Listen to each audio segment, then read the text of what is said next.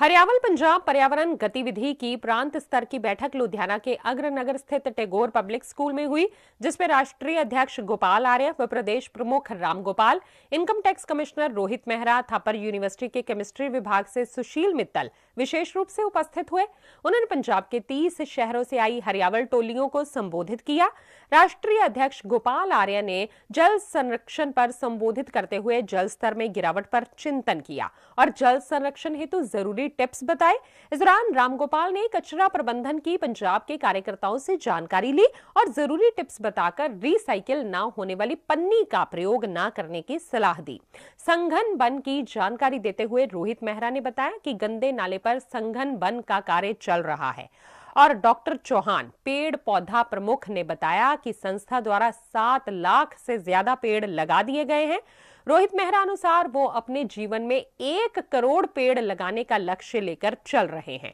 लुधियाना से हलचल के लिए अरुण की रिपोर्ट ਅੱਜ ਹਰਿਆਵਲ ਪੰਜਾਬ ਦੀ ਪ੍ਰਾਂਤ ਪੱਧਰ ਦੀ ਇਹ ਬੈਠਕ ਸੀਗੀ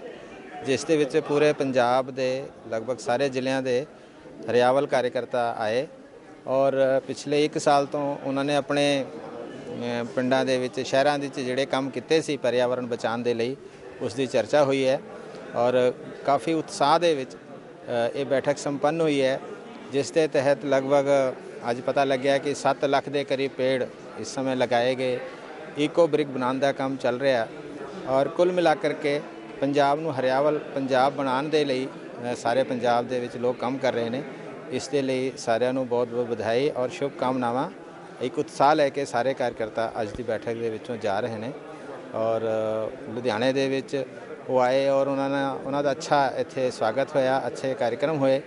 ਤੇ ਮੈਂ ਲੁਧਿਆਣੇ ਵਾਲਿਆਂ ਦਾ ਵੀ ਧੰਨਵਾਦ ਕਰਦਾ ਹਾਂ ਕਿ ਉਹਨਾਂ ਨੇ